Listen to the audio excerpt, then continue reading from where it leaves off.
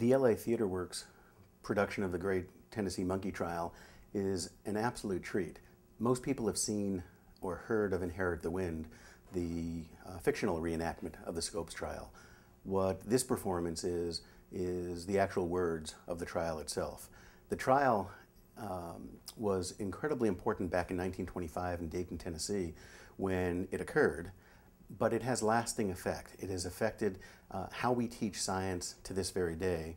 We're seeing court cases around the country that to some extent are re reenacting or reliving what happened back in, in Dayton, Tennessee in, in uh, 1925. One of the really exciting pieces of having the show this year is that 2009 represents the, two, the 200th anniversary of Charles Darwin's birth. He was born February 12, 1809, in fact, the same day that Abraham Lincoln was born, same year. And 2009 represents the 150th anniversary of the publication of, of Darwin's great work on the origin of species.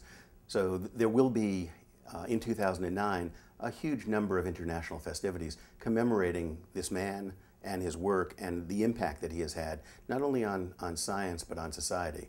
Um, the, the, idea of, of, Butler University, Clowes Hall, playing a significant role in that is, is also very exciting.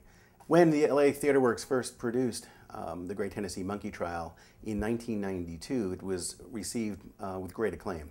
It was uh, reissued and went on tour again in 2005 uh, to commemorate the 80th anniversary of the original trial.